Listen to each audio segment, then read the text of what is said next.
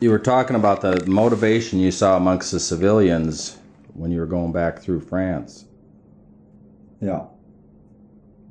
And so, what'd you see? Well, You said one. I, I, I don't know. I can't explain the feeling I had when I see the people, and the, and you speak of um, motivation, what the people in France, the civilian population in France and Germany, and be a, say a typical family living in a house, and many houses were bricks or um, maybe older, probably stone, or uh, there was very few frame houses, like wooden frame houses, mostly. Yeah. A lot of brick houses. And I say there were probably, the house was intact, and one artillery shell or a bomb, 20 minutes later, they wouldn't have anything. Their house would be gone, probably part of their family. They were, they were fortunate if and and I would see it or sometimes right after it happened that they'd standing there just staring. Mm-hmm. They wouldn't. Even, they didn't even talk. They probably in such a shock that it wouldn't take. And I've hiked through and saw these civilians just standing in this rubble, what some that used to be their homes and houses. Mm-hmm. Well, yeah, well, this is this is war, of course. This war at its, at its worst. Well, then, maybe months or, or whatever later, when we came back through France after the war So we were working our way back through Germany and France, and we go through some of these villages. I see people sitting on a stool or a box or whatever they had to sit on, sitting in this pile of rubble with a like a chipping hammer Mm-hmm. and they take the bricks and chip the mortar off and clean it off, the ones they could salvage that weren't broken, and stack them in a neat pile. Mm-hmm. Piles of bricks, little piles of bricks all over. They grab another brick and they sit there tap, tap, tap, clean off that brick, salvage, put that on the pile.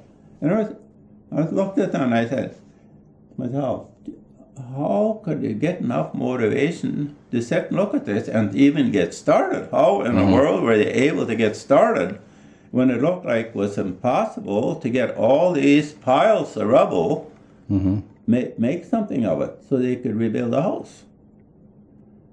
And I thought, they probably took a matter of minutes to completely destroy this building, and they'd probably spend years trying to make a new home. Mm-hmm.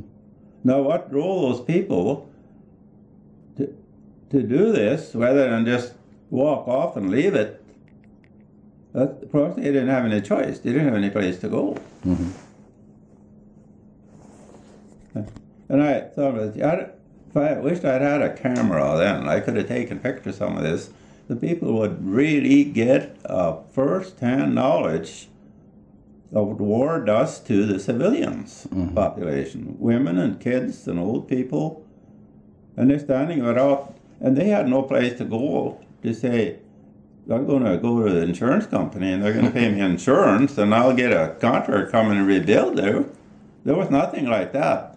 They were completely on their own trying to salvage their life and, and probably part of their family is gone or missing or and to find water and food. So, so if you see that, it's no uh, wonder that they become completely anti-war to see the suffering of the civilian population, whether they're enemy or whether they were allies. It was both French and Germans, same. So when you talk about motivation, now how did they, were they able to build up their motivation enough to even start on something like that? Hmm. That's something I would never. I can just like I took a picture of it. I can just, I can just see it, just like somebody stored a Mm-hmm. a picture right in your mind. You know, it's so vivid. Yeah.